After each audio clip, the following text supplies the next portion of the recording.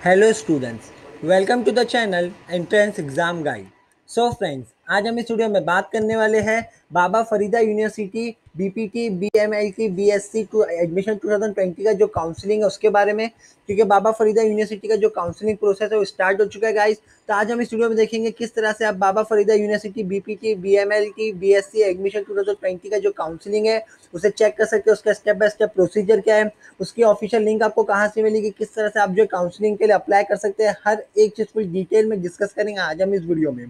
लेकिन वीडियो शुरू करने से पहले अगर आपने अभी तक हमारा चैनल सब्सक्राइब नहीं किया तो चैनल को सब्सक्राइब कर लीजिए। साथ ही साथ जो बेल आइकन बटन है, उसे दबाना ना भूलें, ताकि अगर बाबा फरीदा यूनिवर्सिटी 2020 का और कोई भी नया अपडेट या कोई भी न्यूज़ आती है उसके रिगार्डिंग तो हम आपको वीडियो के माध्यम से अपडेट कर पाएँगे, आपको नोटिफाई कर पाएँगे। तो चलिए फ्रेंड्स अब हम शुरू करते हैं Baba Farida university counselling process के स्टेप्स को। तो उसके लिए सबसे पहले आपको क्या करना होगा आपको सिंपली जो है डिस्क्रिप्शन में एक लिंक प्रोवाइड करा दी हमने। आपको सिंपली उस लिंक पर क्लिक करना होगा। जैसे आप डिस्क्रिप्शन में दी हुई लिंक पर क्लिक करेंगे तो आप डायरेक्टली बाबा फरीदा यूनिवर्सिटी की जो ऑफिशियल वेबसाइट है, आप उस पर रिडायरेक्ट होकर आपके सामने इस टाइप का इंटरफेस ओपन हो जाएगा। हम कोई भी आपको दूसरी लिंक नहीं प्रोवाइड कर रहे कि उस पर क्लिक करके आपको फिर दूसरी लिंक क्लिक करना होगा। आपको सिंपली डायरेक्टली जो डिस्क्रिप्शन में हमें बाबा फरीदा यूनिवर्सिटी की जो काउंसिलिंग की ऑफिशियल लिंक है, आपको वो प्रोवाइड करा दिया है।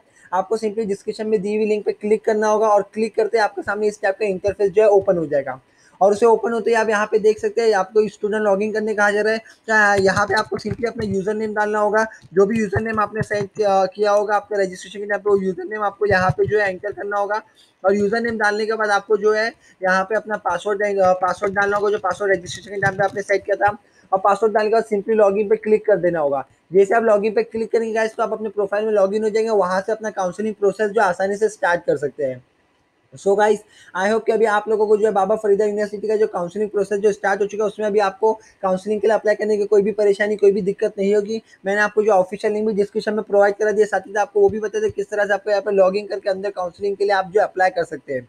अगर फिर भी कोई भी परेशानी हो, कोई भी दिक्कत आपको होती है बाबा फरीदा यूनिवर्सिटी के काउंसलिंग प्रोसीजर में काउंसलिंग प्रोसेस में तो आप मुझे कमेंट सेक्शन में बोल सकते हैं। मैं ज़रूर आपकी मदद करने की कोशिश करूँगा। और अगर ये वीडियो आपको अच्छा अच्छा लगा इस वीडियो के माध्यम से आपको जो काउंसलिंग की लिंक तुरंत मिल गई और काउंसलिंग प्रोसेस के लिए अप्लाई करने में हेल्प हुई हो तो प्लीज़ लाइक कीजिए शेयर कीजिए सब्सक्राइब कीजिए और हाँ बेल आइकन बटन दबाना ना भूलिए। Thank you friends